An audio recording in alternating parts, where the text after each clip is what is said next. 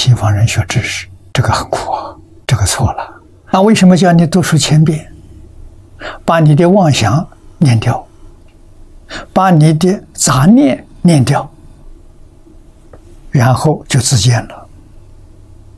这件意思你就都都明白了。为什么原先不明白？是因为你有妄念、有分别、有执着，它把你障碍住了。啊！你要听老师教，你才晓得。如果走佛教路，不需要老师教，老师最后是做证明。你开悟了，讲给我听。啊，不必讲很多，甚至讲个几句。你看，南大师只讲五句。啊，本无动摇，本无动摇是自性本定。换一句话说，真心本定，真心从来没有动过，没有摇摆过，这真心。啊，所以真心记住，清净没有染污，啊，第二个它没有生灭，不生不灭，啊，第三个它一切具足，啊，第四个自性本定，所以一定要修定。那读书千遍呢？那千遍是用读书的方法修禅定，修定，啊，读书你只要是字字分明，句子没有念漏，不要想它什么意思。你想什么意思，你就落在第意识里去了，你就被染污了。啊，不可以。啊，他是叫你修定的，所以读书得三昧也就这意思。三昧就是定，就是禅定。啊，印度话叫三昧。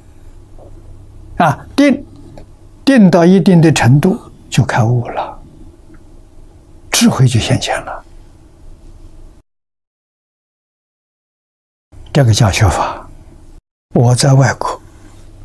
啊，我上一次在这个这个伦敦跟威尔斯的校长谈论中国教学的这个理念跟方法，他们没法子接受啊，是真的不是假的，所以我就想个方法，我们办实验学校，啊，时间呢？三年到五年。我办实验学校，啊，我们这个学生的时候就用这个方法，读书千遍，其义自见。那用这个方法，如果真的三五年的时候有几个人真的开悟了，他们就相信了，那就能接受了。啊，这是东方智慧，或者佛学的秘诀。啊，他这不是秘密。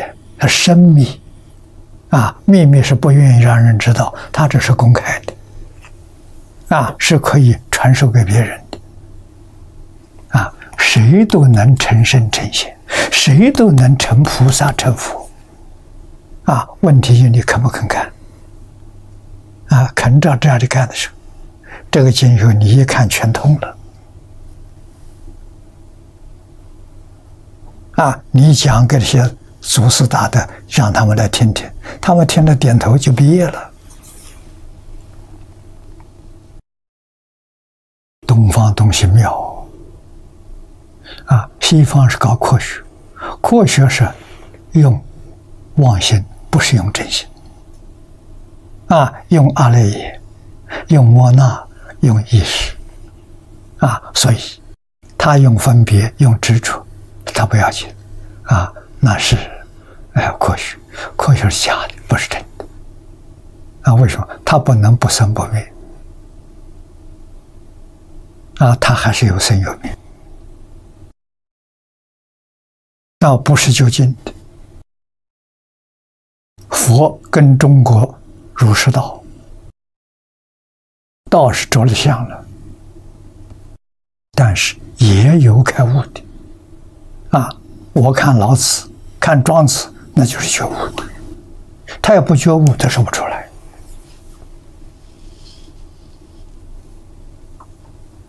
啊，你看庄子讲的“天地与我同根，万物与我一体”，不是开悟的人说不出来。啊，这在佛法里至少法身菩萨、法身大师不是普通菩萨啊，彻悟了的菩萨，说这都是圣人呐。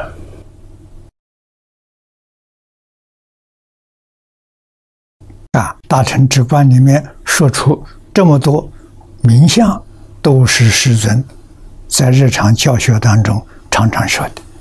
啊，说这么多，主要的用意叫我们不要执着。啊，大乘七训论教我们学习的方法，讲的很重要啊。啊，读经要怎么读，听经要怎么听。第一个。立言说相，我们要听他的道理，言语没有关系，多说少说都无所谓。我们要明了它里头的含义啊！立言说，不执着言说；立名字相，这名词术语，这也是假设的，为传播方便起见，建立这些名相。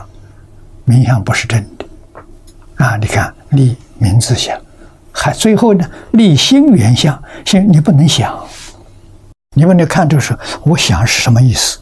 那是你的意思，妄心的意思，不是真心看到的真实意。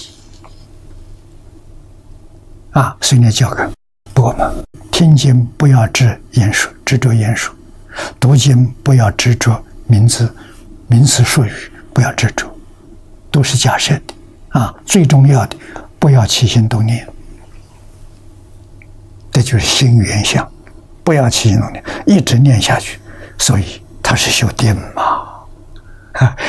用读书人、知识分子喜欢读书，哎，喜欢读书就用读书的方法修定。你看佛的善巧方便多妙，那你喜欢什么，就用这个东西教你修定。这叫你去修这个出世间法，啊，就是叫你得定，啊，最后就要帮助你明心见性，全是自己，与外面毫不相干了，啊，你的见通了，那佛讲的三藏十二部经，你一点都没有问题，你要读的头头是道，讲的头头是道。智慧从哪里？自己自信开出来的啊！你的自信跟佛的自信是一个自信啊！能大师后头还有一句话了：“何其自信，能生万物啊！万物是整个宇宙，整个宇宙从哪里来？从我心心生的，就是真心。”真心能生万法，妄心能变万法。真心生的万法，那个万法不变，像极乐世界，真心生的，人无量寿，树木花草都无量寿。啊，花开没有凋谢的。啊，这什么自信变现的？可是。阿赖耶加上去，它就产生变化了。啊，《华严经》讲的十法界六道，心现识变。啊，先有心现，然后才有识变。但这得搞清楚啊，你才知道什么该放在心上，什么该放下，别放在心上。你心里头没有负担，心里头清净，心里面充满智慧。智慧不是学来的，本有的，学来的不是智慧，知识。